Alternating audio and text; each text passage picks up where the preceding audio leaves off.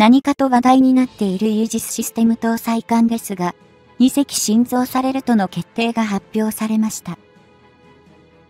今回は、この最新鋭イージスシステム搭載イージス艦を詳しく見ていきますね。そして、急遽2隻の既存イージス護衛艦増艦。護衛艦ヤマトはまだか。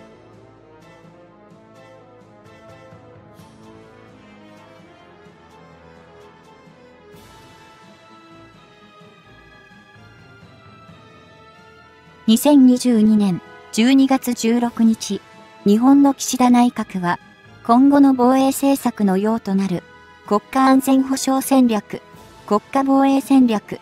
防衛力整備計画の安全保障関連3文書を閣議決定し、2023年度からの防衛費を大きく増加させることを内外に示した。ここで用いられた安全保障関連3文書は、これまで国家防衛戦略は、防衛計画の対抗、防衛力整備計画は、中期、防衛力整備計画と呼ばれていたものが、今回、同時に、文書名称の変更も行われたものである。これら国家安全保障戦略、国家防衛戦略、防衛力整備計画の安全保障関連3文書は、日本の防衛政策を網羅した内容ではあるが、正式に閣議決定する前から、関係筋を通して、大半の内容が漏れ伝わっていることが多い。今回の安全保障関連3文書の閣議決定前にも、おおむね、そうした傾向は見られており、当日まで判明していなかった内容を挙げることの方が、そうでないものよりも、格段に難易度が高い作業になると言ってよいだろう。しかし、今回の安全保障関連3文書の閣議決定においては、一部でそれが起こり、どういった関連の部分かといえば、海上自衛隊の既存のイージス護衛艦の8隻体制を、新規で2隻と建造して増加させるという箇所であった。これまでの海上自衛隊では、この既存のイージス艦とは、艦種記号で DDG、ミサイル護衛艦であり、混合型4隻、アタゴ型2隻、マヤ型2隻の8隻を保有、運用している以が、これに、今回2隻の追加での新造が打ち出された。これまでのイージス艦8隻体制は、2014年度からの26機の中期防衛力整備計画で示されたものであったが、今回の防衛力整備計画において、9年ぶりに、この体制が2隻増となることが、急遽確定したと言ってよいだろう。しかし、海上自衛隊の最新鋭のイージス護衛艦たるマヤ型は、建造費は、1隻あたりおよそ1700億円は下らないため、今回のような大幅な防衛費の増加がなければ、本来急遽追加可能な調達単価の装備品ではない。さらに、2020年6月に計画中止が確定した陸上配備型のイージス・アショアの代わりとしては、それらのレーダー等を流用したイージスシステム搭載艦を2隻新造することがもともと決まっていたため、合計では都合4隻の増加となった。ちなみに、安全保障関連3文書の中では、既存のイージス艦、艦種記号 DDG のミサイル護衛艦のことをイージスシステム搭載護衛艦、イージス・アショアの代替艦をイージスシステム搭載艦と呼称しており、かなり紛らわしい。そのため、ここでは、便宜上、既存のイージス艦、艦種記号 DDG のミサイル護衛艦は、イージス護衛艦、イージス・アショアの代替を目的とするものは、イージスシステム搭載艦とすることに統一して記述させていただきたい。もともと、日本におけるイージス・アショアは、計画が中止とならなければ、北は秋田県、南は山口県の2カ所に配備することで、日本列島全体をカバーするミサイル防衛システムとなる予定であり、陸上のため常時24時間稼働が可能とされていた。しかし、このイージズ・アショは、発射した際のブースター部の落下地点の制御が困難であることが判明。回収するには、多額の費用と期間を、日本側が独自に負担する必要があり、そのまま導入は断念されることとなった。日本がイージス・アショアの導入を目指していたのは、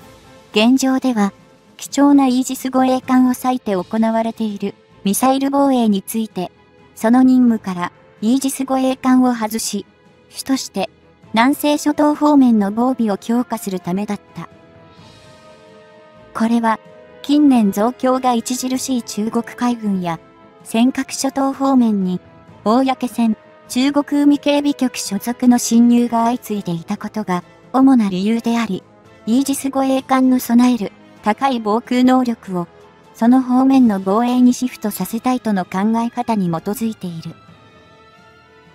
現状における日本のミサイル防衛は、常時2隻のイージス護衛艦を、その任に充当させて、日本全体をカバーしており、今でこそ8隻体制が整ったとはいえ、艦艇は、そのすべてが、常時可能可能な状態に置かれているわけではない。実任務、訓練、メンテナンスの3つのサイクルを繰り返す必要のある艦艇は、8隻体制を敷いていても、その流れからは逃れられず、どれだけ多くとも、実数の3分の1プラスアルファしか稼働できないこととなっている。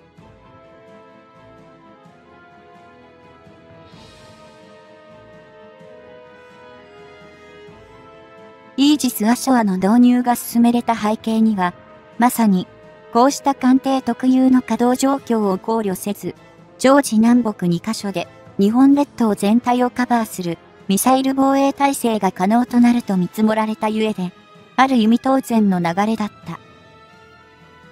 しかし、前述した理由で、イージス・アショアの導入は頓挫してしまい、その大対策は、結局、艦艇に回帰することとなり、さらに、2機のイージス・アショアのレーダー等を流用する発想からか、心臓艦も2隻と決定されるに止まった。このため、イージスシステム搭載艦2隻体制では、常時の日本列島全体のカバーリングはできず、足りない部分は、これまで、通りに、イージス護衛艦が補うことが予想され、その不加減と他任務への転換には、疑問符がついていた。今回、くしくも、イージス護衛艦も、2隻の心臓が打ち出されたことで、なんとかイージスシステム搭載艦2隻と合わせて、常時のミサイル防衛体制が構築できる可能性が見えてきたといえ、南西諸島防衛への備えも進められるだろう。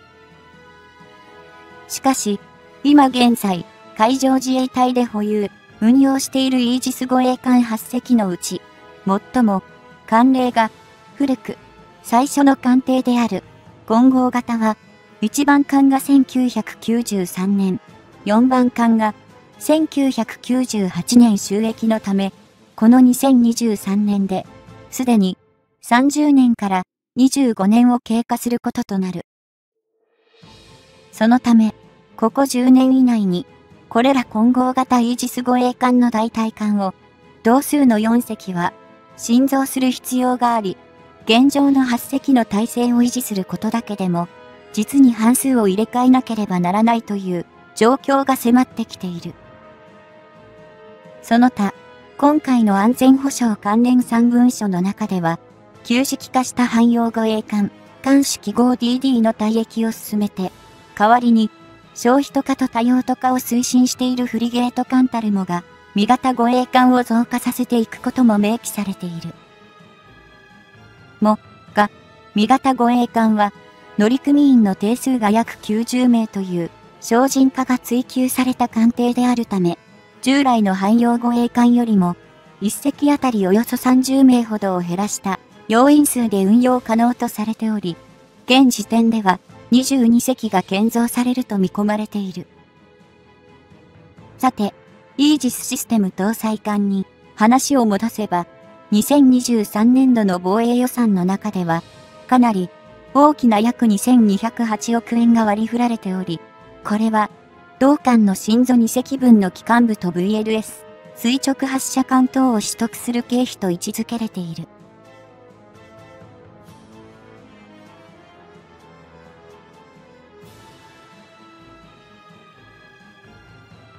もともと、イージスシステム搭載艦が新造されることが確定した時点から、その一隻あたりの建造費は、およそ2500億円は必要との見方が多く、これは、既存のイージス護衛艦の単価より、さらに高額であるいうのが実情だ。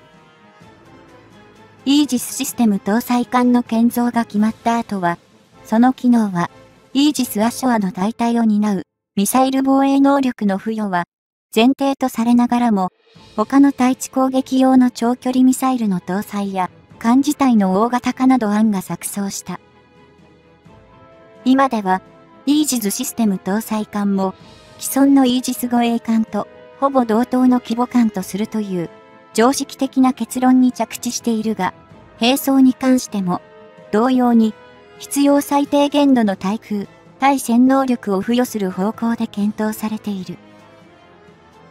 これは、イージスシステム搭載艦が、それらの股間防御用の兵装を装備しない艦艇となれば、結局、そうした能力を有する他の艦艇を、その防御目的で常に随伴させる必要が生じるためであり、話の堂々巡り感は強い。なお、日本の反撃能力の保有のとっかかりとして、アメリカからのトマホーク巡航ミサイルの調達の検討が行われているが、これは通常のイージス護衛艦に向けた想定であり、イージスシステム搭載艦は、その対象には含まれていない。